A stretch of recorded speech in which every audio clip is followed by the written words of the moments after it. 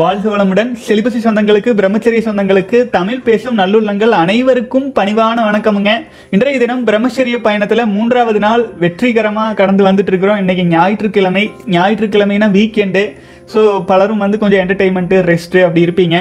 அப்புறம் இன்னைக்கு நேற்றைய தினம் சகோதரர்கள் கேட்ட பெரும்பாலான கேள்வி பதிலுக்கு அப்படி அப்படியே விடையளிச்சிட்டோம். அதே சமயத்தில் இமெயிலில் உள்ள கேள்வி பதில்களையும் விடையளிச்சாச்சு. ஒரு இரண்டு விஷயங்களை பற்றி சகோதரர்கள் கேட்டிருந்தாங்க. ஸோ இன்னைக்கு சண்டே அப்படிங்கிறதுனால கொஞ்சம் வந்து என்டர்டைன்மெண்ட் விஷயங்களை பற்றி பேசலாம் அப்படின்ட்டு. முதலில் கண்ணதாசன் பற்றி சகோதரர் கேட்டிருந்தார். அது ஒன்று அடுத்தது வினோதய சித்தம் அப்படிங்கிற ஒரு திரைப்படம். அது வந்து இப்போ ரிலீஸ் ஆயிருந்தது. அதை பற்றி கேட்டிருந்தாங்க. என்னடா அது நிறைய பேர் இதை பற்றி சொல்லிகிட்டே இருக்காங்களே அதில் அப்படி என்ன இருக்குது நம் சகோதரர்களுக்கு பயனுள்ள வகையில் ஏதாச்சும் இருக்கா அப்படின்ட்டு இன்னைக்கு அந்த அது ரெ- ரெண்டுமே பார்க்கலாங்க. வாழ்க வளமுடன். அதாவது கவிஞர் கண்ணதாசன். அவருடைய பாடலுங்க ஆழம் விழுதுகள் போல் உறவு ஆயிரம் வந்தும் என்ன? வேறென நீ இருந்தாய் அதில் நான் வீழ்ந்து விடாதிருந்தேன். பேருக்கு பிள்ளை உண்டு பேசும் பேச்சுக்கு சொந்தம் உண்டு. என் தேவையை யார் அறிவார்? உன்னை போல் தெய்வம் ஒன்றே அறியும். இந்த மாதிரி ஒன்று இரண்டு பாடல்கள் அல்லங்க. ஆயிரக்கணக்கான பாடல்கள். கண்ணதாசன் வந்து ஒரு இறையை உணர்ந்த ஞானி. ஆச்சுங்களா? தமிழ் திரையுலகங்களில் பெரும்பாலும் அந்த காலத்தில் திரையுலகத்தில் இருந்த பெரும்பாலானோர் வந்து பார்த்தீங்கன்னா பக்தி மார்க்கத்திலோ ஞான மார்க்கத்திலோ இறைவனை நோக்கிய பயணத்திற்கு பேரின்பத்தை நோக்கி நம்முடைய மக்களை கூட்டிச் செல்வதில் சமுதாயத்தில் அமைதி நிலவுவதை நிலை நாட்டுவதில் பெரும்பங்கு வகிச்சாங்கன்னு சொல்லலாம். ஆச்சுங்களா? ஆனால் நாளடைவில் என்னாச்சு அப்படின்னு கேட்டிங்கன்னா இந்த வெளி இப்போ எப்படி நம்முடைய உண்ணும் உணவுப் பொருட்கள் முதல் கொண்டு எல்லாவற்றிலும் கலப்படம் அந்த மாதிரி நம்முடைய கலாச்சாரத்தை சிதைக்கும் விதத்தில் இப்போ வெளிநாட்டிலிருந்து அச்சடித்து கொடுக்கப்படும் பணங்களுக்கு ஆசைப்பட்டு இப்போ பார்த்தீங்கன்னா சிற்றின்பத்தை நோக்கி ஓடுறதுக்கு தகுந்த மாதிரியா படங்கள் எடுத்து தள்ளினாங்க. அப்புறம் தனி மனித பஜனைகளாக வந்துட்டு இருந்துச்சு. ஸோ இது எல்லாமே வந்து இன்றைய தினம் எவ்வளவு மோசமான நிலையோ அப்படிங்கிறதை நம்ம இப்போ இன்னைக்கு டிஸ்கஸ் பண்ணுவோம். அதே சமயத்தில் கண்ணதாசன் பற்றி வந்துடலாங்க கண்ணதாசன் வந்து அர்த்தமுள்ள இந்து மதம் அப்படின்னு ஒரு புத்தகம் எழுதியிருப்பாரு. மிக அருமையாக இருக்கும். அந்த புத்தகத்தில் ஒரு ஸ்டோரி சகோதரர்களுக்கு வாழ்க்கையின் நிலையாமை அல்லது வந்து பார்த்தீங்க அப்படின்னா குடும்ப திருமண வாழ்க்கையில் ஒரு ஒரு மிகப்பெரிய அதிகாரி வந்து என்ன பண்ணியிருக்காருங்களாமா தன்னுடைய வாழ்க்கை துணை ரொம்ப நல்லவோ இருந்தாலும் எனக்கு அந்த சந்தோஷம் கிடைக்கல அப்படின்ட்டு வேற வேற பெண்களை நாடி போக ஆரம்பிச்சிட்டார். இது அந்த பெண்ணுக்கு தான் தெரியாதே அப்படின்ட்டு ஒரு பார்த்தீங்கன்னா ஒரு நான் வந்து சந்தோஷமாக இருக்கணும் அவ்வளோதான் அப்படிங்கிற ஒரு மனநிலையில் வாழ்ந்துட்டு இருக்கும்போது தன்னுடைய வாழ்க்கை துணை உண்மையாக தான் இருப்பாங்கன்னு நினச்சிட்டு இவர் இருந்திருக்காரு. இவர் பல தவறுகளை செஞ்சுட்டு இருக்காரு. ஆனால் இவருக்கே தெரியாமல் அந்த பெண்ணுமே தவறான பழக்க வழக்கங்களுக்குள்ளே போய் அந்த குடும்பமே சிதைந்து ஒரு மாதிரி ஆயிடுச்சு அப்படின்ட்டு கண்ணதாசன் கதையில் சொல்லுவார். இது போலவே கவிஞர் கண்ணதாசனும் வந்து திரையுலகத்தில் எவ்வளவோ பெண்கள் அதாவது வந்து பார்த்தீங்கன்னா சினிமா நடிகைகள் இது போன்ற சகவாசங்களினால் அவர்களோடு ஏற்பட்ட தவறான பல அனுபவங்கள். அவர் வாழ்க்கையில் வந்து த அவருடைய வாழ்க்கையை திசை மாற்றி பல பாடல்கள் வந்து பார்த்தீங்கன்னா அந்த இறைவனை நோக்கி எழுதுவார். இருந்தாலும் திரைப்படங்களுக்கு வர்றதுனால அது சிற்றின்பத்துக்காக மாற்றி விடுவாங்க.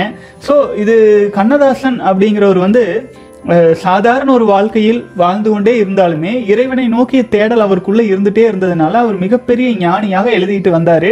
அப்போது ஒரு அதில் இன்னொரு இன்சிடெண்ட் அவரே தான் சொல்லியிருப்பார். ஒரு சினிமா நடிகையிடம் அவர் வந்து காதல் வசப்பட்டு ஒன்றாவே இருந்திருப்பாங்க. ஆனால் வந்து கொஞ்ச நாள் கழித்து அவர் அந்த நடிகை வீட்டுக்கு போகும்போது அந்த வீட்டுக்குள்ளே இன்னொரு ஆண் மகன் வெளியில் வருவாருங்களாமா? வெளியில் வந்தோடனே அந்த பெண் எப்படி நாம் இவ்வளோ தூரம் அன்பாக பழகிட்டு இருந்தால் இப்படி இருந்தோம் ஆனாலுமே நீ வந்து இப்படி ஏன் இந்த மாதிரி இருக்க? அப்படின்ட்டு அவர் மனம் நொந்து போய் வாழ்க்கையே போன மாதிரியெல்லாம் ஃபீல் ஆகி வெளியில் வந்ததாக. இதெல்லாம் வாழ்க்கையில் அவருக்கு ஏற்பட்ட அனுபவங்கள்.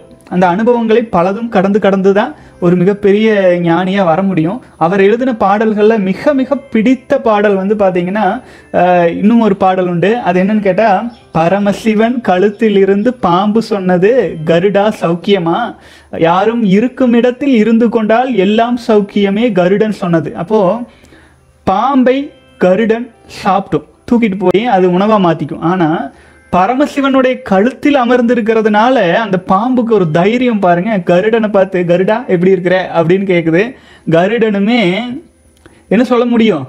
சிவனோட கழுத்திலேயே இருக்குதே. அதனால யாரும் இருக்கிற இடத்துல இருந்துட்டு எல்லாம் சௌக்கியம்தான் அப்படின்னு சொன்ன சொன்னதாக யோசிப்பாருங்க ஒரு சாதாரண ஒரு பாடலை குடும்ப வாழ்க்கையில் குடும்ப வாழ்க்கையில் பிணைச்சு திருமணமாகி வந்த ஒரு பெண்ணானவள் எவ்வளவோ தான் வந்து பார்த்தீங்கன்னா ஸ்ட்ரகிள் பிரச்சனைகள் எல்லாமே வந்தாலுமே தான் வாழ்க்கைப்பட்டு வந்த இடத்துல ஸ்ட்ராங்காக நின்னா அது யா- எப்பேற்பட்ட உயர்ந்த ஆட்களாக இருந்தாலும் எதிர்கொள்ள முடியும். இல்லைன்னா கூனி குறுகி தான் வாழணும் அப்படின்ட்டு ஒரு பல கருத்துக்கள் வருங்க. கண்ணதாசன் ஒரு பாடல் எடுத்துட்டா அவ்வளோ விளக்கங்கள் வரும். இது மாதிரியான பல நல்ல நல்ல நல்ல குடும்ப வாழ்க்கைக்கு ஒரு பெண்ணுனா இப்படி இருக்கணும் ஒரு ஆணுனா இப்படி இருக்கணும் அப்படின்னு நல்லா சொல்லி கொடுத்து வந்ததுனால நம்முடைய தாய் தந்தையர் முன்னோர் சமுதாயம் ஓரளவு நல்ல அமைதியாக இருந்துச்சு.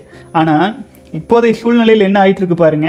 நாட்கள் செல்ல செல்ல அந்த மகாபாரதத்தில் திரௌபதிங்கிற ஒரே ஒரு பெண் துயில் உளின் உரிந்த ஒரே காரணத்தினால கிருஷ்ணர் வந்து அந்த யுகத்தையே முடிச்சு வச்சு கலியுகம் துவங்குவதற்கான சூழல் உருவாகுவதற்கு காரணமாக மாறிடுச்சு. ஆச்சுங்களா? அந்த திரௌபதிங்கிற ஒரு பெண்ணை துயில் உறிஞ்சதுக்காக. ஆனால் இன்றைய காலகட்டத்தில் திரைப்படத்துறை அப்படிங்கிறது எவ்வளோ கேவலமாக போயிடுச்சுன்னா ஆயிரக்கணக்கான பெண்களை துயில் உறிஞ்சு அதில் பணம் சம்பாதிக்கிற களிங்கிறதே வந்து தங்கத்திலிருந்து துவங்குச்சுன்னு சொல்லுவாங்க. அதில் பணம் சம்பாதிக்கிற ஒரு ரத்த காட்டேரிகளை போல மாறிட்டாங்க. எதுவுமே தவறில்லை. ஒழுக்கங்கிறதே கிடையாது. எப்படி வேணாலும் வாழலாம். ஆட்டம் பாட்டம் காசு காசு. அப்புறம் போதை. என்ன அந்த போதைங்கிறது இல்லாத படமே இல்லை. போதை அப்புறம் சூதாட்டம். இதெல்லாமே வந்து வந்து வந்து மக்கள் இப்போ எந்த மாதிரியான ராஜரிஷி ராஜராஜ சோழன் போன்ற தன்னை உணரும் விஷயங்களை பார்த்துட்டு இருந்த அதே மக்கள் நாளடைவில் வந்து பார்த்தீங்க அப்படின்னா சிற்றின்பத்தை நோக்கி தன்னை பலவீனப்படுத்தி டைல்யூட் பண்ணும் ஒரு மோசமான நிலையில போயிட்டு இருந்தது. இது இப்படி போயிட்டே இருக்கிற சமயத்தில் ஒரு அத்தி பூத்தார் போல ஒரு சில நல்ல விஷயங்களும் வருது. இப்போ வந்து நம்ம மொத்தமாக மோசம்னு சொல்லிடலாம். மொத்தமாக வந்து தவறுன்னு நம்ம சொல்லலாம். ஆனால் அதிலிருந்தும் சில நல்ல விஷயங்கள் வெளியில் வந்துட்டே இருக்கு. அது போல ஒரு நல்ல ஒரு அருமையான திரைப்படமாக வந்து வினோதய சித்தம் அப்படிங்கிற ஒரு திரைப்படம் வந்து வெளிவந்திருக்குது. நான் வந்து அது நேற்று ஈவினிங் தான் வந்து பார்த்தேங்க. நல்லா இருந்துச்சு. அதாவது வந்து குரு வேதாத்ரி மகரிஷி சொல்லுவார் இறைவனின் தன்மைகளா பேர வற்றாத இருப்பு பேராற்றல் பேரறிவு காலம். இதெல்லாம் இறைவனின் தன்மையா? எப்போதுமே வற்றாத இருப்பு அப்புறம் பே அந்த ஆற்றலுக்கு அளவே இல்லாத ஆற்றல் பேரறிவு எல்லாமே எல்லாவற்றையும் இயக்கக்கூடிய அந்த பேரறிவு அடுத்தது வந்து காலம். இது எல்லாம் இணைஞ்சது தான் இறைவனின் தன்மை அப்படின்ட்டு இந்த திரைப்படத்துல வந்து காலம் அப்படிங்கிறத வந்து இந்த காலம்னு ஒன்று எடுத்துட்டாலே அதில் எல்லாமே அடக்கம் தான் இறைவனை தான் குறிக்கிறது மாதிரியாக அந்த படத்தில் காட்சிகள் வரும். இதில் வந்து தம்பி ராமையா அப்படிங்கிற ஒரு மிகச்சிறந்த குணச்சித்திர நடிகர். அவர் வந்து எந்த கதாபாத்திரத்தில் நடித்தாலும் பொருந்தி நடிக்கக்கூடிய மிக மிக சிறப்பாக தமிழ்நாட்டில் இருக்கக்கூடிய ஒரே ஒரு சில நடிகர்களில் அவர் ஒருத்தர். அப்போ அவர் வந்து பார்த்தீங்க அப்படின்னா பயங்கர ஈகோவிஸ்டிக் கேரக்டர் நான் தான் எனக்கு நான் என்னால தான் எல்லாமே நடக்குது. ஏ நான் இல்லைன்னா எதுவுமே இல்லை. I am the kingmaker kingmaker of ஆஃபீஸில் கிங் மேக்கர் ஆஃப் வீட்டில் கிங் மேக்கர் தான் எல்லாத்துலேயும். நான் தான் நான் எடுக்கிறத சட்டம் அப்படிங்கிற அளவுக்கு இருபத்தி ஐந்து வருடமாக ஒரு கடு ஒரு நிறுவனத்தில் உழைத்து ஒரு உயர் பொறுப்புக்கு வர்ற நிலைமையில் இருக்கும்போது அவர் வந்து காலம் அடைகிறாரு. அந்த எதிர்பாராத தருணங்கள் மூலமாக ஒரு சில ஆக்சிடென்ட் நடக்குது. அவர் உயிர் உடலிலிருந்து பிரியுது. பிரியிற சமயத்தில் வந்து காலன் அப்படிங்கிற கேரக்டரில் சமுத்திரக்கனி அப்படிங்கிற ஒரு சமுத்திரக்கனி வந்து பார்த்தீங்கன்னா காலன்கிற கேரக்டரில் வராரு அவர் மூலமாக தான் வந்து திரும்பவும் இந்த திரைப்படம் துவங்கி நடந்துட்டே வருது. அந்த காலன் அப்படிங்கிற கேரக்டர் வந்து பார்த்திங்கன்னா நம்முடைய இறைவன் நம்ம கூடவே தான் வந்துட்டு இருக்கான் அப்படிங்கிறத உணர்த்துறதுக்காக பல காட்சிகள் நல்லா சிறப்பாக இருக்கும். நான் வந்து எப்பவுமே நான் உங்கள் கூட தான் இருப்பேன். நான் இங்கே தான் இருப்பேன் உங்கள் கூடவே தான் இருப்பேன் அப்படிங்கிறதும். அடுத்தது வந்து பார்த்தீங்கன்னா அவருடைய ஆணவங்கள் எல்லாமே நான் இல்லைன்னா எதுவுமே நடக்காது அப்படின்னே நினச்சிட்டு இருப்பாரு. ஆனால் அவர் செய்யும் விஷயங்கள் எல்லாமே அந்த நல்ல விஷயங்களை தடை செய்வதாகவே இருக்குது அப்படிங்கிறத உணர்த்துறார். காலன் அப்படிங்கிறதுல சமுத்திரக்கனி கூடவே இருந்து உணர்த்திட்டே வருவார். நாம் வந்து இதை செஞ்சுருவோம் நம்மளால தான் இது நடக்குது அப்படின்ட்டு ஒரு வேலைக்கு முயற்சி செய்கிற இடத்துல கூட அவருக்கான வேலை தான் அங்கே தான் வந்திருக்காரு. ஆனால் அவர் செய்யும் தவறு ஓ எனக்கு கிடைக்காம இன்னொருத்தருக்கு அந்த வேலை கிடைச்சிருமோ அப்படின்னு அதுக்கு தடை செய்வதற்கு அவர் செய்யும் முயற்சி அது பாவப்பதிவாக பதிந்து அவர் ஜிஎம் போஸ்ட் வருவதற்கு தடையாக மாறும். அதுக்கு அவர் செஞ்ச பாவம் இருபத்தஞ்சு வருடம் கழிச்சு அவருக்கு ரிஃப்ளெக்ட் ஆகி வரும். இதே மாதிரியே தன்னுடைய பெண்கள் இரண்டு பெண்கள் ஒரு பையன் எல்லாரையுமே தன்னுடைய கண்ட்ரோலில் இருக்கணும்னு நினைக்கிற எல்லா விஷயங்களுமே தவறாக போயிடுறதும் அவர் கண்ட்ரோல் பண்ணாமலேயே எல்லா விஷயங்களுமே இயல்பாக நடந்துட்டே வர்றதும் இல்லை மிக அருமையாக பார்த்தீங்க அப்படின்னா இறைவன் நம்ம கூடவே இருக்காரு. நம்ம எல்லா நேரங்களிலும் கவனித்து கொண்டே இருக்கிறார். அதே சமயத்தில் நம்முடைய ஆணவ மிகுதியினால நாமளே வந்து இயல்பாக நடக்கும் விஷயங்களை வந்து கெடுத்துக்கொள்கிறோம் அப்படிங்கிறத மிக தெளிவாக மிக நான் இது வந்து முழுசாக கதையெல்லாம் சொல்லிடலாம். சொன்னால் உங்களுக்கு படம் பார்க்கும்போது இன்ட்ரெஸ்ட் இருக்காது. நீங்கள் தயவு செஞ்சு இந்த திரைப்படத்தை எடுத்து பாருங்க. அதாவது நம்ம பல முறை சொல்லுவோம் முத்திரை பைத்தல் பிரம்மச்சரியம் ஃபாலோ பண்ணுங்கன்னு சொல்கிறது எல்லா விஷயமே சொன்னால் எல்லாருனாலே அதை ஏற்றுக்க முடியாது. யாருனால ஏற்றுக்கொள்ள முடியும் தெரியுங்களா? யாருக்கு விதிக்கப்பட்டிருக்குதோ அவங்கனால தான் பிரம்மச்சரிய வீடியோக்களை பார்க்கவும் முடியும்.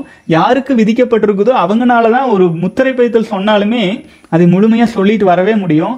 ஆகவே சகோதரர்களே உங்களுக்கு உங்களோட இறைவன் வந்துட்டு இருக்காரு நமக்குள்ளாகவே இறைநிலை இருக்கு அப்படிங்கறதுனால அது வந்து காலம் அப்படிங்கிறதுல இந்த திரைப்படத்தில் காட்டியிருக்காங்க. பலருக்கும் வந்து பார்த்தீங்க அப்படின்னா இந்த அபரிமிதமான ஓட்டம் அந்த ஓட்டை என்னத்தையாச்சும் சாதிச்சிடணும் சாதிச்சிடணும்ட்டு ஓடுறாங்க இல்லைங்களா? அதெல்லாம் தேவையற்ற வேலை தான் நம்ம பிடுங்குற ஆணியெல்லாம் தேவையில்லாத ஆணிதான் அப்படிங்கிறத இந்த திரைப்படத்தில் அழகாக வந்து உணர்த்தி சொல்லியிருப்பாங்க.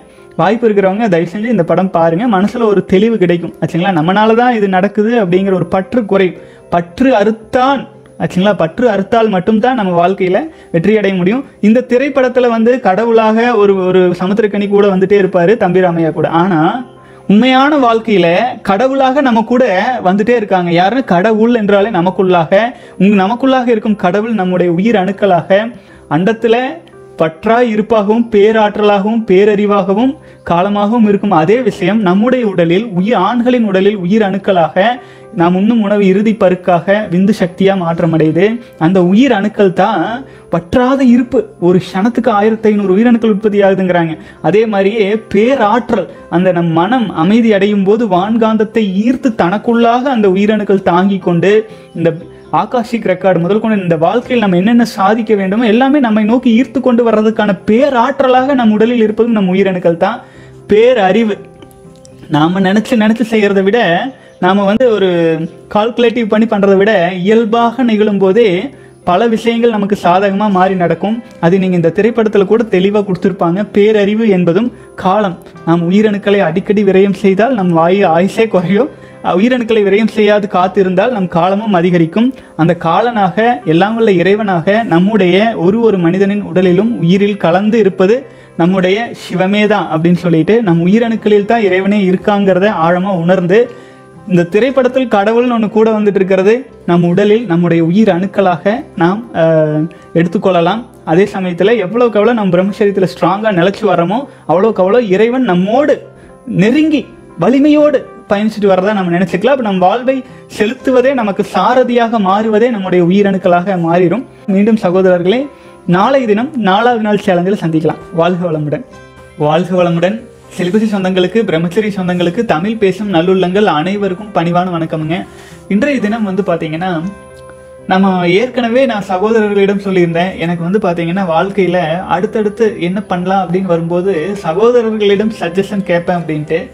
அதே மாதிரியே வந்து இரண்டு விஷயங்கள் கேட்டிருந்தேன். அதுக்கு சகோதரர்கள் ஓட்டிங் மூலமாக யூடியூப்பில் நீங்கள் சொல்லியிருந்த விஷயத்துக்கு தகுந்தாற் போல நம்முடைய அடுத்தடுத்த பயணங்கள் வந்து எடுத்துகிட்டு போகலாம் அப்படின்ட்டு பேசியிருந்தோம். அதே போல் நீங்கள் முதல்ல வந்து ஒரு நாற்பது வயது கடந்தவுடன் பிரம்மச்சரிய பயணத்தில் துறவரம் போல பண்ணிக்கலாம் அப்படின்னு நினச்சது. சகோதரர்கள் ஆசிரமம் போல நடத்துங்க அப்படிங்கிற மாதிரி பலருக்கும் சொல்லுங்கள் அப்படின்ட்டு இருந்தீங்க. அனைவருக்கும் வந்து பாதம் தொட்ட நன்றி வணக்கம். அப்புறம் வந்து பார்த்தீங்கன்னா அது வந்து இறைவன் பாதத்தில் இருக்குது அது ரெண்டாயிரத்தி இருபத்தி அஞ்சுக்கு பிறகு உலக சூழல்களை பொறுத்து நாம் நடை எடுத்துகிட்டு போகலாம் அடுத்தது வந்து பார்த்தீங்கன்னா சகோதரர்கள் நம்ம எவ்வளோ இரண்டு வருடமாகவே நம்ம பிரம்மச்சரியத்தை பற்றி பேசிகிட்டே வந்திருந்தாலும் இரண்டு வருடத்திற்கு மேலாகவே பலரும் வந்து இன்னும் பிரம்மச்சரியத்தில் முழுமையாக வலிமையாக ஸ்ட்ராங்காக வர்றதுக்கு சில குழப்பங்கள் ஆயிட்டு இருக்காங்க. கேள்விகள் மூயவே மாட்டேங்குது. நாம் வந்து பார்த்தீங்கன்னா எல்லாம் பேசியிருக்கோம். சேனலில் பாருங்க. சேனல் போய் பாருங்கன்னு சொன்னாலுமே ஏதோ வந்து பார்த்தீங்க அப்படின்னா அவங்களுக்கு கிடைக்க மாட்டேங்குது. எங்கே போய் தேடுறது? இவ்வளோ பெரிய வீடியோஸாக இருக்குது அப்படின்ட்டுலாம் நிறைய கேட்டுகிட்டே இருக்காங்க. ஸோ ஆகவே அதனால வந்து என்ன பண்ணலாம்? சரி செலிபஸிக்காக புத்தகம் ஒன்றை எழுதிடலாம் அப்படின்ட்டு நினச்சிருந்ததுங்க. புத்தகம் அப்படின்னு போகும்போது ஏற்கனவே கிட்டத்தட்ட முக்கால்வாசி முடிஞ்சிருச்சு. எழுதி முடிச்சாச்சு. சரி அதை ரிலீஸ் பண்ணலாம் அப்படிங்கிற சூழல் பார்க்கும்போதுங்க பலரிடமும் கொண்டு போய் சேர்க்க முடியுமா அப்படிங்கிற ஒரு குழப்பம் உண்டு. என்னென்னா இப்போ இருக்கிற இந்த கொரோனா போன்ற சமயத்தில் ஊழி காலங்கள் இருக்கிற சமயத்தில் ஒரு ஒருவரின் கைகளிலும் கொண்டு போய் சேர்க்கறதுக்கு பண்ணலாமா அப்படின்ட்டு நான் கேட்டிருந்தேன். சகோதரர்கள் வந்து வீடியோ ஆடியோ பாட்காஸ்ட்டாக போடுங்க அப்படின்ட்டு கிட்டத்தட்ட எழுபது சதவீதத்துக்கு மேலே வந்து ஓட்டிங் பண்ணியிருந்ததுனால நான் எழுதியிருந்த புத்தகத்தை ஆச்சுங்களா அதில் இருக்கிற அப்படியே படிக்காம அது வந்து பார்த்தீங்க அப்படின்னா உங்களோட டிஸ்கஸ் பண்ணுற மாதிரி அந்த அந்த டாபிக் வந்து நாம் அப்படியே டிஸ்கஸ் பண்ணுற ஃபார்மெட்டில் வந்து சகோதரர்களுக்கு வீடியோஸாக மாற்றிடுவோம் அப்போது நீங்கள் இதை பி எம்பி த்ரீ ஃபைலாகவும் டவுன்லோட் பண்ணிக்கலாம். அல்லது யூடியூப் வீடியோஸ்லையும் நீங்கள் பார்த்துக்கலாம். இ- சகோதரர்கள் எனக்கு கேள்விகள் கேட்டுகிட்டே இருக்கீங்களே அவங்கள அனைவருக்கும் நான் கேட்டுக்கிற ஒரே ஒரு விஷயம். இப்போ நம்ம பேசிகிட்டு இருக்கிற இந்த வீடியோ பாட்காஸ்ட்டை வந்து சகோதரர்கள் முழுமையாக கடைசி வரை கேட்டு முடித்துவிட்டு அதன் பிறகும் சந்தேகம் இருந்துச்சுன்னா என்கிட்ட கேளுங்க. ஏன்னா இப்போ இந்த வேலைகள் நடந்துட்டு இருக்கு. இது வந்து பார்த்திங்கன்னா பல பாகங்களை கொண்ட செலிபஸிக்காக பிரம்மச்சரியத்திற்கான ஒரு என்சைக்ளோபீடியாவாக ஒரு மிகப்பெரிய புத்தகமாக இது வந்துடும் புத்தகமாக எழுதி அதை ரிலீஸ் பண்ணும்போது. அதை நம்ம வந்து மிகவும் செலவு பிடிக்கும் விஷயம். அது வந்து சகோதரர்களிடம் வந்து அனுப்பி அப்புறம் நீங்கள் அதை படித்து நாலு பக்கம் ரெண்டு பக்கம் படித்து தூக்கி மூளையில் போட்டு இப்படி தான் பெரும்பாலான புத்தகங்கள் நடந்துகிட்டு இருக்குது. ஆகவே நாம் வந்து அந்த புத்தகத்தை எப்படி கடத்த இயலுமோ முடிந்த அளவு எல்லா விதத்திலும் கடத்த வேண்டும்ங்கிறதுக்காக யூடியூப்புங்கிற ஒரே ஒரு மீடியம் தான் நமக்கு இப்போதைக்கு சகோதரர்களை வந்து நேரடியாக சந்திக்கும் ஒரு விஷயமா இருக்கிறனால இதன் மூலமாகவே நம் புத்தகத்தை அது எவ்வளவு மணி நேரம் வரும்னு தெரியாது. ஆனால் அவ்வளவும் பொக்கிஷமான விஷயங்கள் நம் இரண்டு வருட ஆராய்ச்சிகள் எல்லாமே வந்து அப்படியே தொகுப்பு தொகுப்பாக நாம் வந்து பேச போகிறோம் சகோதரர்கள் வந்து இவ்வளவு நாள் நீங்கள் பார்த்த வீடியோஸை பார்க்கலாம். கேள்வி பதில் சந்தேகங்கள்லாம் பார்த்துட்டே இருக்கலாம். அதே சமயத்தில் இது வந்து ஒரு ஒட்டுமொத்த பேக்கேஜாக இருக்கும். ஒரு பிரம்மச்சரிய கல்வி முறை. பனிரெண்டு வயது வந்த அனைத்து இளைஞர்களும் எடுத்து கற்றுக்கொள்ள வேண்டிய மிக அத்தியாவசியமான கல்வி முறை. பள்ளி கல்லூரிகளில் கிடைக்காத கல்வி முறையை நாம் வந்து இனி பார்க்க போகிறோம் இதில் வந்து பார்த்திங்கன்னா மனித இனத்துக்காக நாம் பிரம்மச்சரியத்தை பற்றி பேசுகிறோம் ஆச்சுங்களா? மனித இனத்துக்காக. இங்கே இந்து முஸ்லீம் கிறிஸ்டின் பௌத்தன் அப்படிங்கிறது எல்லாமே அது வந்து அது ஒரு பக்கம் இருக்கட்டும். அது வந்து நம்மை நல்வழிப்படுத்துவதற்காக நம் முன்னோர்களால் வடிவமைக்கப்பட்டுச்சு. ஆகவே அது வந்து அவரவர்களுக்கு அவரவர்கள் பெருசாக இருக்கலாம் அவங்கவுங்க கலாச்சாரம் இதெல்லாம் வேற. ஆச்சுங்களா? ஆனால் நாம் முதலில் அடிப்படையில் ஒரு மனிதன். அந்த மனிதன் அப்படிங்கிற ஒரு விஷயத்தில் நம் உடலில் இருக்கும் ஆற்றல்களை பற்றி உண்மையிலேயே எந்த இடத்துல நம்ம பலவீனமாகிறோம்? எந்த இடத்தை நாம் வலிமைப்படுத்தி கொண்டால் எல்லா விதத்திலும் நம் வாழ்க்கை மேம்படும். அதாவது மகாபாரதத்தில் நான் வந்து பாரத தேசத்தில் வளர்ந்து வந்ததுனால இது சார்ந்த இங்கு புழங்கும் கதைகளை வந்து நான் எடுத்து உங்களுக்கு சொல்கிறதுனால சகோதரர்கள் வந்து எளிமையாக புரிஞ்சுக்குவீங்க. தமிழ் பேசும் சகோதரர்கள் பெரும்பாலும் ஆகவே எனக்கு தோன்றிய இப்போ பாருங்கள் நாம் வந்து எழுதி வைத்து கொண்டோ அல்லது வந்து பார்த்திங்கன்னா அப்படியே வந்து பார்த்திங்கன்னா சில எப்படி சொல்லலாம்னா குருட்டு வாக்கில் நம்ம நம்ம டிஸ்கஷன் மாதிரி பண்ணுறோம் அப்படி இருக்கிறனால இதில் இன்னொரு பேசிக்காக ஒரு விஷயத்த சொல்லிடுறேன் சகோதரர்களிடம். என்ன அப்படின்னா நான் வந்து இது பேசுகிற விஷயங்கள் எல்லாமே எழு இதுதான் பேசணும்ட்டு நம்ம சொல்லலை. எல்லாமே வான்காந்தத்திலிருந்து சித்தர்களாலும் யோகிகளாலும் அவர்கள் ஏற்கனவே ஆகாஷிக் ரெக்கார்டில் பதிப்பிக்க செய்த விஷயங்களை நேரடியாக நான் எடுத்து அப்படியே உங்களிடம் பேசுகிறேன் இதில் உங்களுக்கு ஏதேனும் குறைகள்?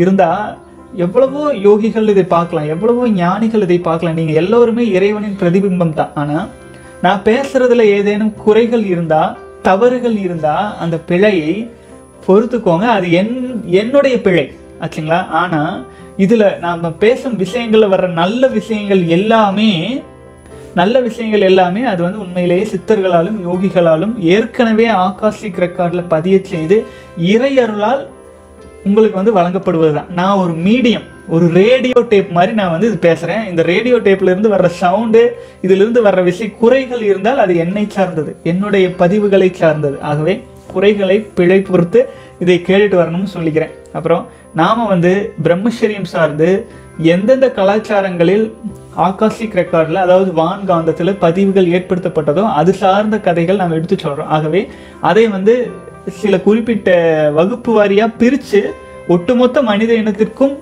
கிடைக்கக்கூடிய கிடைக்க வேண்டிய இந்த பொக்கிஷத்தை வந்து டீக்ரேட் பண்ணிக்கக்கூடாது தன்னுடையது தன்னுடைய மதம் தன்னுடைய இனம் தன்னுடையதுன்ட்டு இது பண்ணிக்க வேண்டியதில்லை. எல்லோருமே எல்லோரின் உள்ளாகவும் இருந்து வெளிப்பட்டு கொண்டிருப்பவன் இறைவனே அப்படிங்கிறதுனால அனைவருக்கும் பொதுவாக இதை வந்து முழுமையாக கேட்டுட்டு வரணும். அப்படின்னு நான் வேண்டிக்கிறேங்க. அடுத்தது நம்ம ஒரு சின்ன ஒரு கணக்கீடு எடுத்துக்கிட்டா அப்படின்னு கேட்டிங்கன்னா ஒரு நம்ம தமிழ்நாட்டு மக்கள் தொகை ஒரு பத்து கோடி இருக்குன்னு வைங்களேன் பாதி பெண்கள். பெண்கள் பற்றி நாம் இங்கே வரல. பிரம்மச்சரியம் ஆண்களுக்காக தான் நம்ம இது பேசுகிறோம் இப்போவே சொல்லிடுறேன். ஒன்று ரெண்டாவது இந்த அதில் பாதி போயிட்டு அஞ்சு கோடி ஆண்கள் இருக்காங்கன்னா அதில் ஒரு இரண்டு கோடி பேர் குழந்தைகளாகவோ அல்லது முதியவர்களாகவோ இருக்கலாம். பிரம்மச்சரியத்தின் மூலம் பெரிய பலன் அவர்களுக்கு இல்லை. அப்போது ரெண்டு விஷயம். குழந்தைகளாகவோ பெரியவர்களாகவோ ஒரு இரண்டு கோடி பேர். அப்புறம் அது இல்லாது மூன்று கோடி இளைஞர்கள் தமிழ் இளைஞர்கள் தமிழ் மொழியை புரிந்து கொள்ளும் அனைவருமே இந்த பிரம்மச்சரியத்தை பற்றி ஒழுக்கத்தை பற்றி முழுமையாக தெரிஞ்சுக்கணும். அப்படி தெரிந்து கொண்டால் மட்டும்தான் வாழ்க்கையில் முழுமையான வாழ்க்கையாக வாழ்ந்து வெற்றி அடையவே முடியும். ஆச்சுங்களா? ஸோ அது அந்த முழுமையாக உணர்ந்து வெற்றி அடைய வேண்டும் அப்படிங்கிற ஒரு உள்ளார்ந்த ஒரு இறை அன்பினால தான் இப்போ வந்து பார்த்தீங்க அப்படின்னா நான் உங்ககிட்ட வந்து உங்களுக்கு சொல்லிட்டு இருக்கேன் நான் ஒரு ஊடகமாக இருந்து இதை நான் ஆரம்பித்து சொல்கிறேன் முதல்ல நம்ம இந்த பிரம்மச்சரியத்திற்கான இந்த புத்தகத்தில் உள்ள பக்கங்களை நம்ம புரட்டி அதிலிருந்து நம்ம டிஸ்கஷன் பண்ணுறக்கு ஆரம்பிக்கிறதுக்கு முன்னாடி சில விஷயங்களை வந்து சொல்லிடுறேன். இதில் என்னென்னவெல்லாம் இருக்கும் அப்படின்னா இந்த மிகப்பெரிய இந்த பாட்காஸ்ட் வீடியோ பாட்காஸ்ட்டில் சுய இன்பம் போன்ற கொடிய விஷயங்கள்னால வர்ற கேடுகள். ஆச்சுங்களா? எப்படி சொல்லனா நான் வந்து பாம்பை பற்றி உங்களுக்கு சொல்லணும் அப்படின்னா முதலில் பாம்பு கொத்துனா விஷம் பாம்பு கொத்துனா உயிர் போயிரும் அப்படின்னு முதல்ல உங்களை அவேர் பண்ணணும். அடுத்தது தான் இந்த பாம்பு போய் காடுகளில் இருக்கும் எலியை பிடிக்கும். அது விவசாயத்துக்கு நல்லதுங்கிற பெனிஃபிட்ஸை சொல்லலாம்.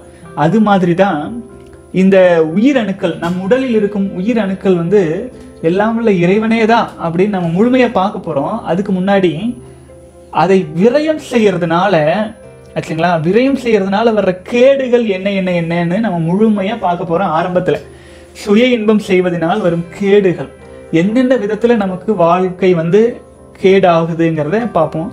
அடுத்தது சுய இன்பம் செய்யாமல் இருப்பதினால் பிரம்மச்சரியத்தில் நிலைச்சு அடுத்தடுத்த ஸ்டேஜ் போகிறதுனால நமக்கு கிடைக்கிற பெனிஃபிட்ஸ் என்னென்ன அப்படிங்கிறத கொஞ்ச நாள் பார்க்க போகிறோம் அடுத்தது கேடுகளையும் பெனிஃபிட்ஸையும் முழுமையாக பார்த்துட்டு அடுத்தது பிரம்மச்சரியம் நம்முடைய மனித சமுதாயத்திற்கு எப்போது எப்போது இருந்து வருது? பிரம்மச்சரியம் சார்ந்த கல்வி முறை இப்போ நம்ம எந்தெந்த விதத்துலலாம் டீக்ரேட் ஆயிருக்கோம் பலவீனம் ஆயிருக்கோம் அப்புறம் பிரம்மச்சரியத்தை ஊக்கப்படுத்துவதற்கான நம்ம இப்போ ஏற்கனவே பயிற்சி முறைகள் செலிபஸி டாட் இன் இணையத்தில் நம்ம கொடுத்துட்ருக்கோம் பெரும்பாலும் பதினெட்டு வயசு கீழே இருக்கும் இளைஞர்களுக்கெல்லாம் இலவசமாக கொடுத்துட்ருக்கோம் ஓரளவு பொருளாதாரத்தில் வலிமையாக இருக்கிறவங்க அவங்க ஜாயின் பண்ணி சேருவதன் மூலமாக அது பலருக்கும் சப்போர்ட்டாக ஆகிட்டு இருக்கு ஸோ அது போன்ற பயிற்சி முறைகள் தொடர்பான விஷயங்களையும் அடுத்தது உணவு முறைகள் பிரம்மச்சரியத்தில் நிலைப்பதற்கான வழிமுறைகள் இது எல்லாம் படிப்படியாக பார்த்துட்டே வரப்போகிறோம் இதனோடு இணைந்து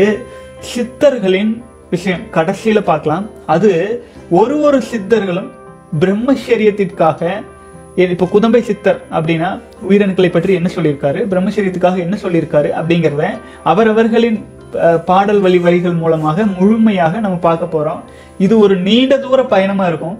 வீடியோ பாட்காஸ்டாக. இதுவரை நான் பா போட்டிருந்த எல்லா விஷயங்களையுமே தொட்டு தொட்டு தான் வரும். அதே சமயத்தில் பல புதிய விஷயங்களும் வரும். ஒரு ரீஃப்ரெஷிங்காக பிரம்மச்சரியத்தில் இந்த வீடியோ பாட்காஸ்ட் வந்து பார்த்தீங்கன்னா கேள்வி பதில் டிஸ்டர்பன்ஸ் இல்லாமல் வரும். ஆகவே சித்தர்கள் பாடல் டிஸ்டர்பன்ஸ் அதிகமாக வராது. முழுமையாக உங்ககிட்ட இன்ஃபர்மேஷனை வந்து வான்காந்தத்திலிருந்து பிரம்மச்சரியத்தின் முக்கியமான விஷயங்களை உங்களிடம் கடத்துவதற்காக இந்த பயணம் வந்து துவங்கி எடுத்துட்டு போக போகிறோம் சகோதரர்கள் மன உறுதியோடு பிரம்மச்சரியத்தில் ஸ்ட்ராங்காக கடந்து வரணும். இந்த பயணம் போயிட்டு இருக்கிற இந்த காலகட்டத்தில் பிரம்மசரீரத்தில் நிலைச்சிருக்கணுங்கிறத மன சகோதரர்கள் மன ஆழத்தில் வச்சுக்கோங்க. சரி. இது பற்றி டீட்டெயில்டாக நான் பார்த்தாச்சு. சகோதரர்கள் வந்து வீடியோ பார்த்துட்டு இருக்கிறவங்க வந்து கீழே கமெண்ட்ஸில் நீங்கள் என்னென்னக்கு சில கேள்விகள் எல்லாமே கேட்கலாம். ஆனால் இந்த பாட்காஸ்ட் வந்து முழுமையாக முடியும் வரை கேள்வி பதில் அப்படிங்கிறது வந்து தள்ளி வைக்கப்படும். ஏன்னா நீங்கள் இதை கேட்டுகிட்டே வந்தீங்கன்னா உங்களுடைய பெரும்பாலான கேள்வி பதில் இதில் வந்துடும் அப்புறம் ஃப்ளாட் லைனு அப்புறம் சகோதரர்கள் கேட்ட பெரும்பாலான கேள்வி பதில்களில் மிக முக்கியமான விஷயங்களை மட்டும் டிஸ்கஸ் பண்ணுவோம். ஸோ இது ஒரு நீண்ட தூர பயணமாக நீளமாக போக போகுது. சகோதரர்கள் எப்போதும் போல தொடர்ந்து கூடவே பயணிச்சுட்டு வரலாம். இந்த வீடியோ பாட்காஸ்ட் முடிந்த பிறகு இதை வந்து புத்தகமாக தேவைப்படுறவங்க நம்ம ரெடி பண்ணி கொடுத்துடலாம். ஒன்றும் பிரச்சனை இல்லை. இப்போதைக்கு இது இப்போ இந்த மாதிரி ஆரம்பிச்சிருக்குது. சகோதரர்கள் பிரம்மச்சரியத்தில் ஸ்ட்ராங்காக வரணுங்கிறதுக்காக எல்லாமல்ல இறை ஆற்றலின் உள்ளார்ந்த அன்பின் காரணமாக நம்மையே நாம் உணர்ந்து கொள்ளாது ஒரு அறிவுக்கு விருந்து வைத்துக்கொண்டே சுற்றிட்டு இருந்தோம் அப்படின்னா நான் வந்து ஹிந்துவாக இருக்கேன். எனக்கு என்னுடைய குருமார்கள் பலர் இருக்காங்க. அவங்க ஆயிரம் விஷயங்களை சொல்லியிருக்காங்க. அதெல்லாம் அறிவுக்கு விருந்தாகிட்டே இருக்கு. நான் கேட்டுகிட்டே இருக்கேன். கேட்டுட்டே இருக்கேன். நல்லா இருக்கு. நான் கேட்டுகிட்டே இருக்கேன். அதே மாதிரியே நான் வந்து ஒரு ஒரு கிறிஸ்துவனாக இருக்கிறனால பழைய ஏற்பாடு புதிய ஏற்பாடுன்னு நிறைய எழுதி வச்சுருக்காங்க. நான் அதெல்லாம் அறிவுக்கு விருந்தாக கேட்டுட்டே இருக்கேன். நல்லா நான் வந்து இதனால பெரிய எங்கேயோ போக போகிறேன் அப்படின்னு நினச்சிட்டு ஆற்றல் விரயம் கால விரயம் தான் பெரும்பாலும் ஆயிட்டு இருக்கு அதனால் சாதித்தோம் அப்படின்னு சொல்கிறவங்க அது இல்லாவிட்டாலுமே அந்த சாதனை செஞ்சுருவாங்க. அந்த அளவில் தான் அதனால் பலன் அடைஞ்சிட்டும் இருப்பாங்க. ஆனால் உண்மையான பலன் எப்போ கிடைக்கும் எப்படி கிடைக்கும் எதனால் கிடைக்கும் அப்படின்னு எது ஒன்றை நாம் அறிந்து கொண்டால் உலகில் உள்ள அனைத்து விஷயங்களையும் தெரிந்து கொள்ளலாமோ அது ஒன்றை பற்றி நாம் கேட்க போகிறோம் பார்க்க போகிறோம் சகோதரர்களை தொடர்ந்து பயணிக்கலாம். வாழ்க வளமுடன். வாழ்க வளமுடன். போன கொஞ்ச நேரத்துக்கு முன்னாடி பேசியிருந்தேங்க. ஒட்டுமொத்த தமிழகத்தில் வந்து இருக்கிற பத்து கோடி பேரில் குறைஞ்சபட்சமாக ஒரு மூன்று கோடி பேர் ஆயினும் மக்கள் தொகையில் பிரம்மச்சரியத்தையும் உயர் ஒழுக்க வாழ்க்கையையும் தெரிஞ்சுக்கிட்டு வாழ்க்கையில் வலிமையாக முடியும் அப்படின்னு பேசியிருந்தோம். அதில் மூணு கோடி பேர் இல்லைங்க. வெறும் ஒரு ஒரே சதவீதம் ஒரு மூன்று லட்சம் பேர் நம்முடைய தமிழ் கூறும் நல்லுலகத்தில் பிரம்மச்சரியத்தில் ஒழுக்கமாக ஒரு வாழ்க்கை வாழ்ந்தாங்கன்னா நம்முடைய ஒட்டுமொத்த உலகமுமே வந்து பார்த்திங்கன்னா ஒரு வலிமை மிக்க ஒரு சமுதாயமாக மாறிடும் ஒழுக்கம் நிறைந்த சமுதாயமாக மாறிடும் எல்லா விதத்திலும் தன்னை மேம்படுத்தி கொள்ளும் ஒரு அடுத்த பரிணாம வளர்ச்சிக்கு செல்லும் ஒரு மனித குலமாக அந்த அந்த குரூப் வந்து மாறிடும் ஆச்சுங்களா? ஒரு மூன்று லட்சம் பேர் ஆயிடும் ஆகவே தான் அதை வந்து ஓரளவு வள்ளலார் வந்து கடைவிரித்தேன் கொள்வார் இல்லை அப்படின்னு சொன்ன மாதிரி ஆயிராம முடிந்த அளவு பலரும் பிரம்மச்சரியத்துக்கு போய் சேரணும் அப்படிங்கிறதுக்காக நம்ம இந்த புத்தகத்தை வந்து செலிபசி பூஸ்டர் அப்படிங்கிற தலைப்பில் வந்து நம்ம பேசிகிட்டு இருக்கோம். சரி இதில் பிரம்மச்சரியத்தினால இவ்வளோ பெனிஃபிட்ஸ் அது இது நோ ஃபேப் எல்லாமே பேசலாம். ஆனால் அதுக்கு முன்னாடியே நான் வந்து எனக்கு இது செய்யறதுனால எனக்கு இது ஒரு பெனிஃபிட்ஸ் கிடைக்கும் அப்படிங்கிறதுக்காக நான் ஒரு விஷயத்தை செஞ்சேன் அப்படின்னு வைங்களேன். அது வந்து சில ச- சில நாட்கள் சில சில அது ஒரு பெனிஃபிட்ஸை நோக்கி போகிற மாதிரி அப்படியே நினச்சிட்டு இருப்போம். அதாவது இது பண்ணால் இது எனக்கு கிடைக்கும் அப்படின்னு ஒரு பேரம் பேசுகிற நிலை. ஆனால் இதில் நீங்கள் பிரம்மச்சரியத்துக்கு பெனிஃபிட்ஸுக்கு போகிறதுக்கு முன்னாடி கொஞ்சம் ஆழமாக நீங்கள் பிரம்மச்சரியம் இல்லாமல் ஒழுக்கம் இல்லாமல் சுய இன்பம் மற்றும் இனப்பெருக்க செயல்பாடுகளில் அதீத ஆர்வத்தோடு ஆழ்ந்து போயிட்டு இருக்கீங்க அப்படின்னா அதனால் ஏற்படும் பாதிப்புகள் என்ன என்ன? பக்க விளைவுகள் என்ன என்ன? அப்படிங்கிறத பார்க்கலாங்களா? அதை பற்றி டிஸ்கஸ் பண்ணுவோம். ஏன்னா பெனிஃபிட் எல்லாம் அப்புறம். நாம இதில் ஸ்ட்ராங்கா இல்லைன்னா என்னென்ன இழக்கிறோம்? எந்தெந்த விதத்துல நம்ம டீக்ரேட் ஆகுறோம்? மனித இனம் அப்படிங்கிறதுல இருந்தே கீழிறங்கி போறோம் அப்படிங்கிறத தெரிஞ்சுக்கிட்டோம் அப்படின்னா தான் முதல்ல அந்த பாம்பின் விஷம் கேன்சரை குணப்படுத்தும் அப்படின்னு க- தற்கால வணிக விஞ்ஞானங்கள்லாம் கண்டுபிடிச்சி அந்த விஷத்தை எடுத்து ஆராய்ச்சி எல்லாமே எடுத்துக்கிறாங்க. அதுக்கு முன்னாடி என்ன தெரிஞ்சுக்கணும்னா முதல்ல அந்த பாம்பின் விஷம் நம் உயிரையே அழித்து விடும் அப்படிங்கிறத தெரிஞ்சுக்கணும். பாம்பு கிட்ட உஷாரா இருக்கணும். அதனால நம் முன்னோர்கள் உடலில் குண்டலினியை பாம்போடு ஒப்பிட்டாங்க. அந்த குண்டலினி எனும் பாம்பு எப்போ வலிமை அடையும்னா நம்ம உயிரணுக்களை விரயம் செய்யாது இருக்கும்போது தான் அது வலிமை அடையும் ஆகவே தான் நான் பாம்புக்கு உதாரணம் வச்சே பேசிட்டு வந்துட்டு இருக்கேன் சரி நான் வந்து சுய இன்பம் பண்ணிக்கிட்டே இருக்கிறோம். அப்புறம் இது மாதிரி இனப்பெருக்க காதல் பெண் மயக்கங்களில் எதிர்பாலின மயக்கத்தினால மன அளவிலும் பார்த்தீங்க அப்படின்னா இருபத்தி நாலு மணி நேரம் அதே சிந்தனையிலே சுத்துறது. காதல் காதல் அந்த அந்த மாதிரி. உறங்கும்போது தலகாணி வேணும்னா அப்போ தான் தலகாணி வேணும். உறங்கும்போது தான். எந்நேரம் தலையில் கட்டிட்டு சுத்தக்கூடாது. அந்த அளவிலான ஒரு மன தெளிவு கிடைக்கணும் இல்லைங்களா? ஆகவே முதல்ல என்னென்ன பாதிப்புகள் வருது அப்படிங்கிறத நம்ம பொறுமையாக அவசரம் இல்லாமல் ஆழமாக தெரிஞ்சுட்டே வருவோம். முதல்ல வந்து பார்த்திங்கன்னா சுய இன்பம் அப்படிங்கிறதுல அடிமையானவங்க. நான் வந்து சுய இன்பம்னு சொல்கிறது வந்து இனப்பெருத்த இனப்பெருக்க செயல்பாடுகளையும் நீங்கள் சேர்த்துக்கோங்க. ஆச்சுங்களா? குழந்தை பிறப்புக்காக அன்றி வேறு எக்காரணம் கொண்டும் ஒரு இன்பத்தை நோக்கி மயக்கத்துல ஓடிட்டு இருக்கிறோம் அப்படின்னா அதுவும் ஒரு சுய இன்பம் தான் இன்பம் மயக்கம் நம்மை பலவீனப்படுத்தும் அப்படிங்கிறத ஆழமாக வச்சுக்கிட்டு அந்த பலவீனம் எந்தெந்த விதத்துல எல்லாம் பலவீனமாகுதுன்னு பார்க்கலாங்க. முதல்ல உடல் கட்டமைப்பு குலையும். ஆச்சுங்களா? இளமையில தெரியாது. வயதாக ஆக அதனுடைய பாதிப்புகள் தெரிய ஆரம்பிக்கும். உடல் கட்டமைப்பு குறையும் அப்படின்னா என்ன என்ன கட்டமைப்பு குறைஞ்சிடும் அப்படின்னா இப்போ ஜிம்முக்கெல்லாம் போறாங்க. ஆச்சுங்களா? உடல் கட்டமைப்புங்கிறது ஒரு உதாரணமாக சொல்கிறேன் ஜிம்முக்கெல்லாம் போறவங்க பிரம்மச்சரியத்தில் ஸ்ட்ராங்காக இருந்தாங்க. அதே அப்போ ஜிம்முக்கு போன்ற உடல் கட்டமைப்புகளை மேம்படுத்தி கொள்வதற்காக போகிறாங்க அப்படின்னா அது நல்ல ஸ்ட்ராங்காக இருக்கும். உடல் வந்து கட்டமைப்பு நீண்ட காலம் நிலைச்சிருக்கும். ஒரு சின்ன உதாரணம் அர்னால்டின் அந்த காலத்து பாடி பில்டிங் உடம்பையும் இப்போ அவர் இருக்கிற தொளதொளப்பான உடம்பையும் நீங்கள் பார்த்தா தெரியும். ஏன்னா வெறும் புரோட்டீன் மற்றும் அசைவ உணவுகளால் தான் உடல் அவங்களால மேம்படுத்துகிறாங்க உயிரணுக்களின் ஆற்றலை தெரியாமல் இருக்கிறாங்க. இதில் இன்னொரு விஷயம் நாம் உணவு சாப்பிட்றோம். உணவு சாப்பிடும் உணவு நமக்கு சதை பிண்டங்களை உருவாக்குது. அதை கட்டி காக்கறதுக்கான காந்த ஆற்றல் ஒன்று வேணும் இல்லையா? உடலில் இருக்கும் ஒரு ஒரு செல்களும் தனித்து இயங்கிட்டு இருக்கு. அந்த தனித்து இயங்கும் செல்களை ஒருங்கிணைத்து கட்டமைப்பதற்கான காந்த ஆற்றல் எங்கிருந்து கிடைக்கும் அப்படின்னா நாம் உண்ணும் உணவின் இறுதியாக வெளிப்படக்கூடிய நம்முடைய உயிரணுக்கள் நம்முடைய அது விந்து சக்தி வழியாகவும் ஐம்புலங்கள் வழியாக மனதின் மூலமெல்லாம் விரயம் அபரிமிதமாக விரயமாயிட்டே இருக்கிறதுனால நமக்கு வந்து அந்த உடல் கட்டமைப்பு குறைஞ்சிடும் அந்த உடல் கட்டமைப்பு குறையிறதுனால உடல் எடை குறையும். ஆச்சுங்களா? எவ்வளோ சாப்பிட்டாலுமே எனக்கு உடம்பு வரமாட்டேங்குதுன்னு சொல்லுவாங்க. ஒரு சிலர் சாப்பிட்டு உடல் அபரிமிதமாக வருதுன்னு சொல்லுவாங்க. தன் கண்ட்ரோல் இருக்காது. ஆச்சுங்களா? ஒட்டு மொத்தத்தில் உடல் நம்ம கட்டமைப்புங்கிறது அது நம்முடைய கட்டுப்பாட்டில் இல்லாமல் மாறிடும். எப்போ? சுய இன்பம் செஞ்சுட்டே இருக்கிறதுனால. இதுக்கு இன்னும் ஒரு உதாரணமாக சொல்ல அப்படின்னா விவசாயத்தில் இருப்பவர்கள் ஆடு மாடு மேய்ச்சிட்டு இருக்கிறவங்க அல்லது அந்த காலங்களில் வந்து காளை மாடுகளை போக்குவரத்துக்காக எடை இழுப்பதற்காக பயன்படுத்துறவங்களுக்கு நல்லா தெரியும்.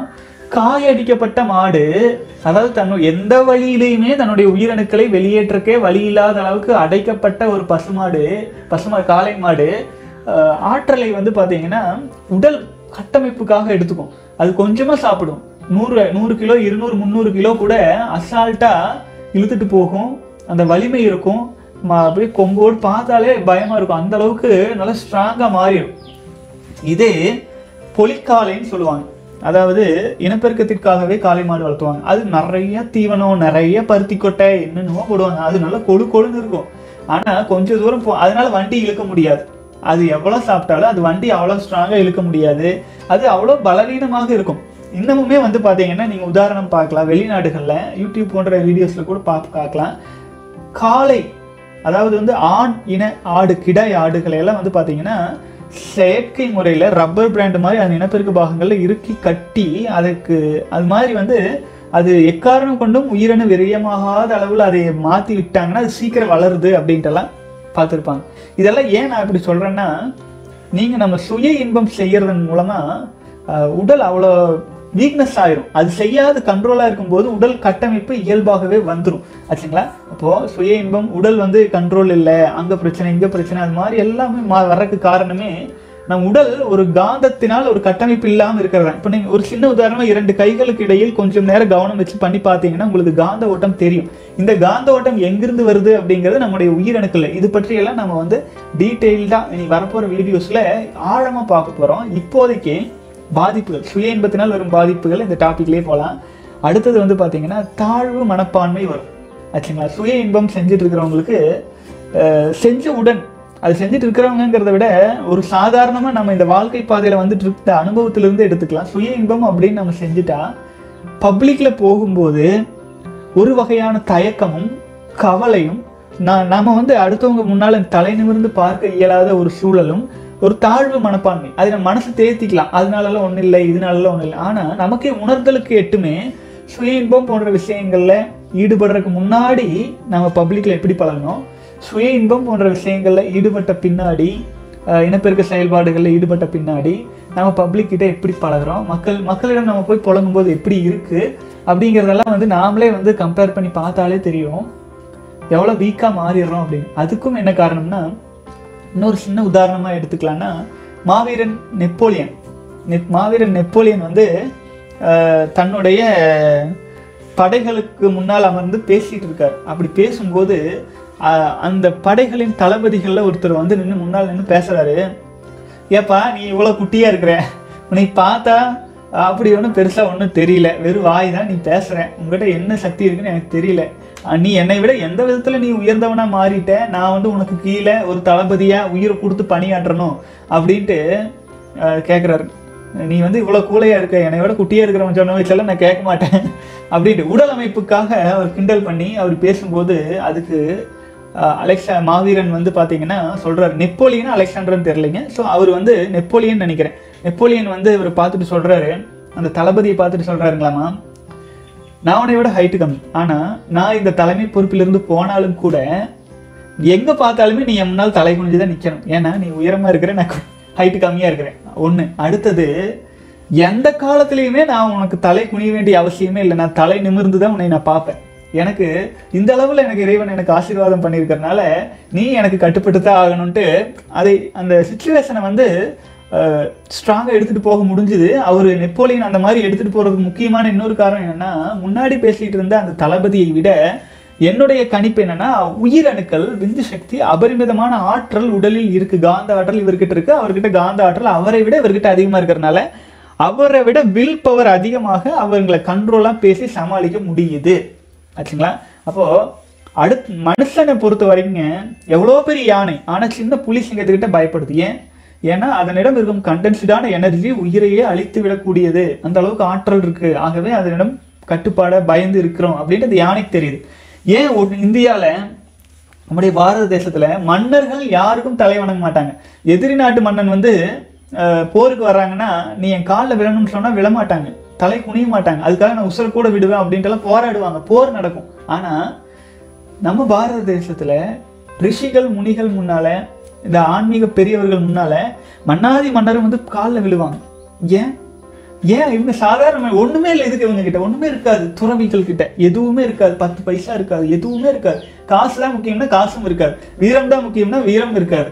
ஏதோ பல மக்கள் படை சப்போர்ட் பண்ணிட்டு இருக்கிறாங்கன்னா அதுவும் இருக்காது. ஆனாலும் மன்னாதி மன்னர்கள் வந்து ஏன் ஒண்ணும் இல்லாதவங்க காலில் விழணும்?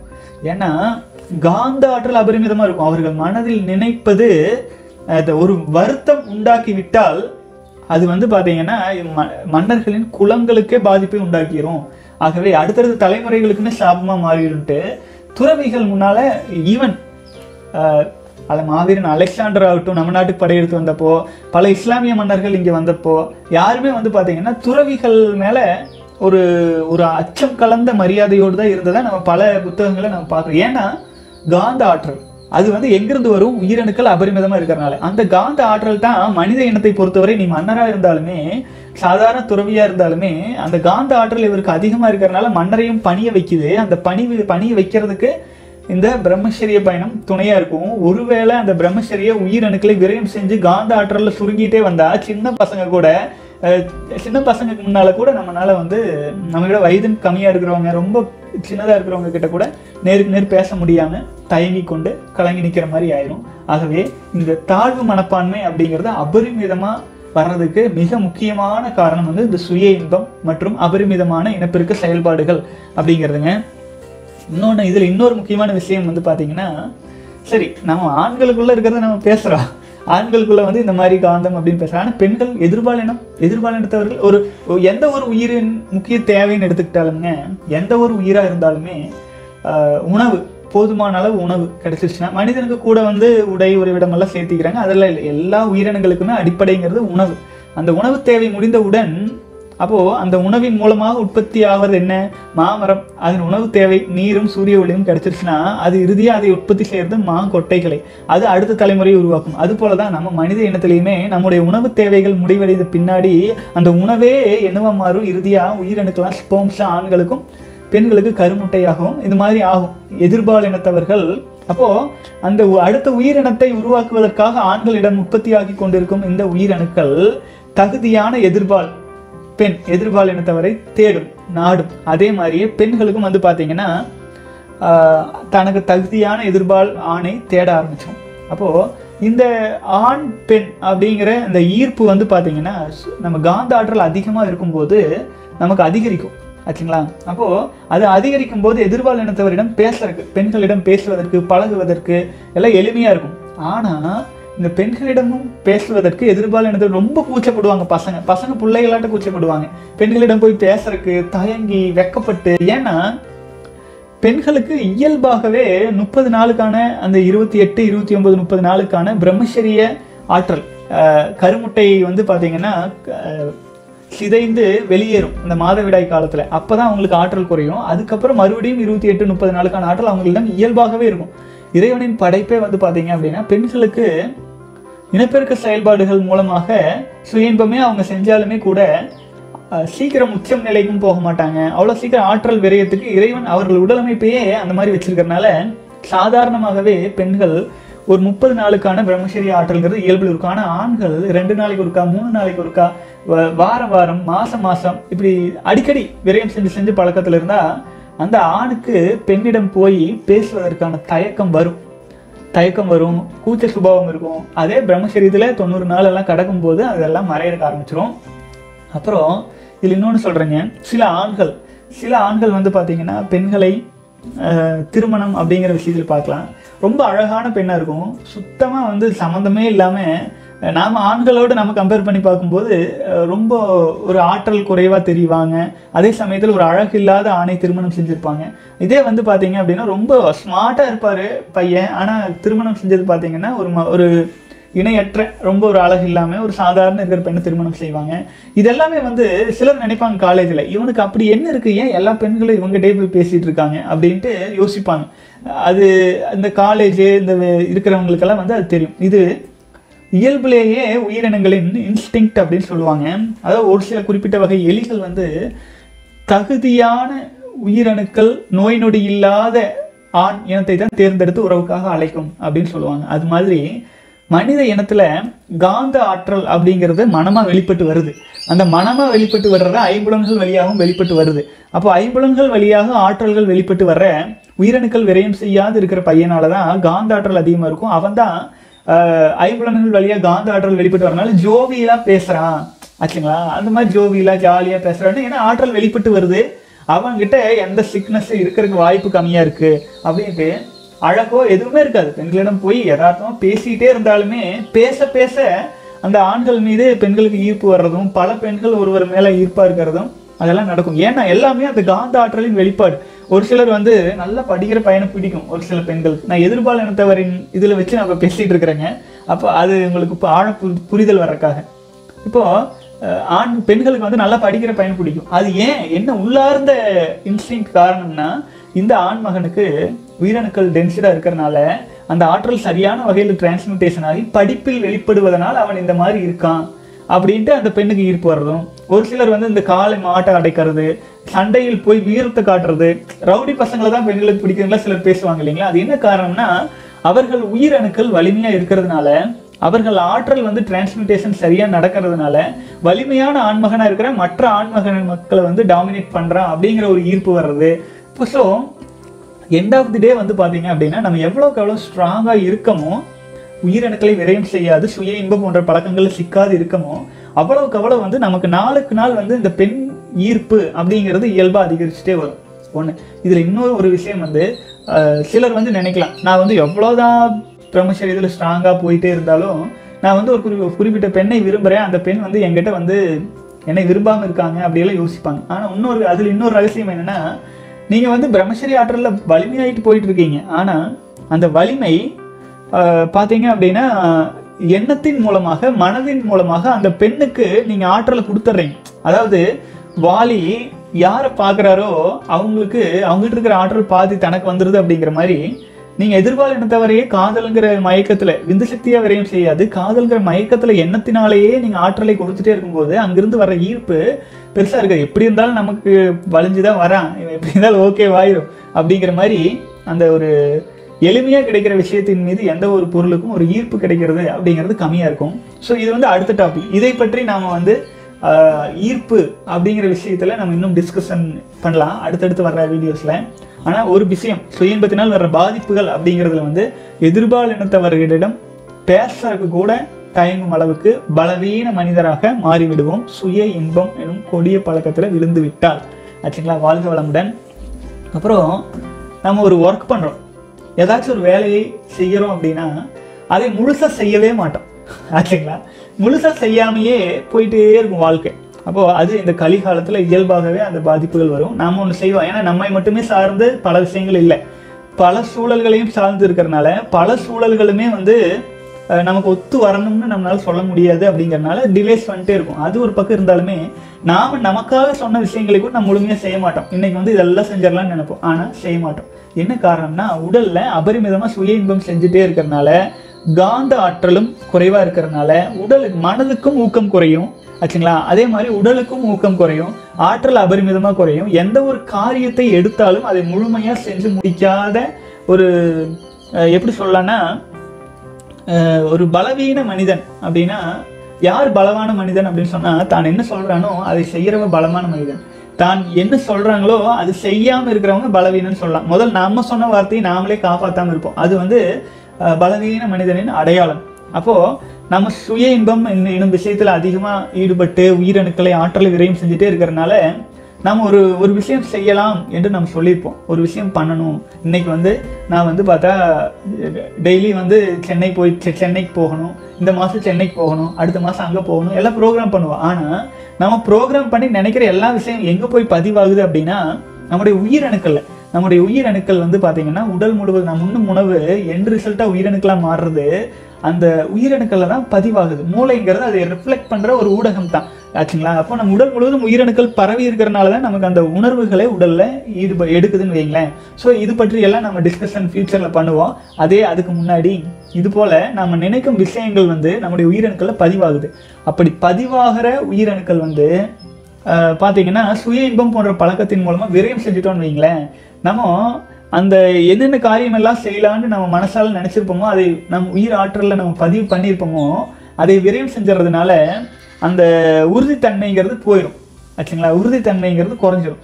அப்போது அந்த உறுதித்தன்மை குறையிறது உயிரை சுயன்பம் செய்கிறதன் மூலமாக அதிகப்படுறதுனால எந்த காரியத்தையும் முழுசாக செய்ய முடியும் அப்படிங்கிறது இயலாமல் மாறிடுங்க வாழ்க வளமுடன். அடுத்தது வந்து பார்த்தீங்கன்னா ஞாபகத்திறன் குறையும்.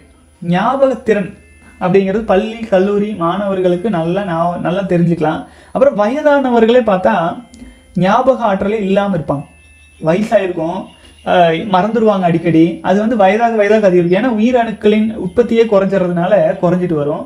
அப்புறம் நாம் என்ன படித்தாலும் என்ன ப என்ன பண்ணாலும் அது நம்முடைய உயிரணுக்களில் தான் போய் பதிவாகுது. ஆச்சுங்களா? அப்போ நம்முடைய உயிரணுக்களில் பதிவாகிறத நம்ம விரையும் செஞ்சுட்டா அப்போ பதிவானது வந்து வெறும் காந்த அளவில் இருக்கும். உயிரணுக்கள் அளவில் விரையும் செய்கிறதுனால ஞாபக ஆற்றல் குறைஞ்சிடும் விவேகானந்தர் வந்து ஒரு புத்தகத்தை எடுத்து சில சில ஒரு அரை மணி நேரத்துக்குள்ளே எல்லாம் வேகமாக படித்து முடிச்சுட்டு அது என்சைக்ளோபீடியா புக்குன்னு நினைக்கிறேன். ரொம்ப பெரிய புத்தகம். ஆனால் அந்த புத்தகத்தில் இப்போ நீ கேள்வி கேளுன்னு கேட்டால் எந்த பக்கம் எந்த வரின்னு சொன்னால் கூட அழகாக விவேகானந்தர் வந்து சொன்னாருங்களாம். அந்த அளவுக்கு பதிதல் அப்படிங்கிறது வந்து நம்ம உடலில் இருக்கும் உயிரணுக்களில் ஏற்படும். இன்னொரு விஷயம் பார்த்தீங்கன்னா நம்முடைய நாட்டில் பாரத தேசத்தில் இந்த இந்த பேப்பர்ஸ்லாம் கண்டுபிடிச்சாலும் ஒரு நூறு சில நூறு வருடங்கள் இருக்கலாம். ஆனால் அதுக்கு முன்னாடி ஓலைச்சுவடிகள் இருக்கலாம். அதுக்கும் முன்னாடி பல லட்சக்கணக்கான பல ஆயிரம் வருடங்களாக நம்முடைய முன்னோர்கள் எழுதிய பொக்கிஷங்கள் இன்றளவும் வந்ததுக்கு காரணம் வந்து பிரம்மச்சரிய கல்வி முறையில் குருகுல கல்வி முறையில் மாணவர்களின் மனதின் பதித்து பதித்து தான் கொண்டு வந்து சேர்த்திருக்காங்க வேதங்கள் எல்லாம். ஆச்சுங்களா? அப்போ அவ்வளவு ஆழமான மன வலிமையை எது கொடுக்கும்? நம்முடைய உயிரணுக்களை விரயம் செய்யாது இருக்கும் பிரம்மச்சரிய நிலை நமக்கு கொடுக்கும். அதே போல அந்த உயிரணுக்களை விரயம் செஞ்சுட்டே இருந்தால் ஒரு தடவை படிக்கிறத நாலு தடவை படித்தா கூட பதியாது. பலவீனமாக இருக்கும் புரியாது. ஆச்சுங்களா? அப்போ அந்த எப்படி சொல்லலாம்னா ஒரு யதார்த்தமான மூளை வேலை செய்- வேலையே குறைஞ்சிரும். மூளையின் செயல்பாடு அபரிமிதமாக குறைஞ்சிட்டே வரும். ஆச்சுங்களா? எதுக்குமே அதுக்கான ஃபியூயல் கொடுத்தாதான் வேலை செய்யுமே. கரெக்ட்டுங்களா? நமக்கு உடல்ல காந்த ஆற்றல் குறைஞ்சதா டயர்டாயிடும் போய் படுத்து தூங்கலாம் தூங்கினா மறுபடியும் வான்காந்த ஆற்றலை ஈர்த்துட்டு நமக்கு வந்து ரீசார்ஜ் ஆகிரும். அப்போ அந்த மாதிரி நம் அந்த உயிரணுக்களை வந்து நம்ம விரயம் செஞ்சுட்டு இருந்தோம் அப்படின்னா நமக்கு ரீசார்ஜ் ஆகிற அந்த கெப்பாசிட்டி கூட சுத்தமாக குறைஞ்சிரும். ஆச்சுங்களா? இப்போ நம்ம வந்து பிரம்மச்சரியத்தில் ஒழுக்கமாக இல்லாமல் சுய இன்பம் செஞ்சுட்டு இருக்கறனால நம்ம உறங்கும் போது கூட ஆற்றலை வான்காந்த ஆற்றலை முழுமையாக கிராப் பண்ண முடியாது. அதை அதனால தான் வந்து பார்த்தீங்கன்னா இப்போ நான் உங்ககிட்ட பேசிகிட்டு இருக்கேன். பார்த்து அதை மட்டுமே படிச்சுட்டு கொண்டிருந்தோம்னா அது ஒரு வகை. அது வந்து வேற மாதிரி ஆற்றல் விரயத்தில் தான் போகும். ஆனால் வான்காந்தத்திலிருந்து நம்ம எடுத்து அப்படியே பேசிகிட்டு இருக்கிறோம் அப்படிங்கும்போது எனக்கு ஆற்றல் விரயமும் இல்லை. அதே சமயத்தில் ஆகாசிக் ரெக்கார்டில் வான்காந்தத்தில் நம்ம முன்னோர்களால் பதிய வச்ச பல விஷயங்களை என்னால் எடுத்து சொல்ல முடியும். இது மாதிரி தான் நீங்கள் உங்களுடைய அறிவில் மனசில் மூளையில் பதிய வச்ச விஷயங்கள் மட்டுமல்லாது பல விஷயங்களை உங்களால் கிராப் பண்ணி நீங்கள் பேசுறதை நீங்களே பார்த்துருக்கலாம் பலமுறை. அந்த மாதிரி நீங்கள் பேசுவதற்கு பிரம்மச்சரிய ஆற்றல் அப்படிங்கிறது அஸ்திவாரம் அடிப்படை. ஆச்சுங்களா? வாழ்க வளமுடன். அடுத்தது வந்து பார்த்தீங்கன்னா விந்து சக்தி நீர்த்து போகிறது மற்றும் குழந்தை பிறப்பு குறைவாகிறது. இது போன்ற பல கெடுதலான பல விஷயங்களையும் வந்து நம்ம அடுத்தடுத்து பார்க்கலாங்க. வாழ்க வளமுடன்.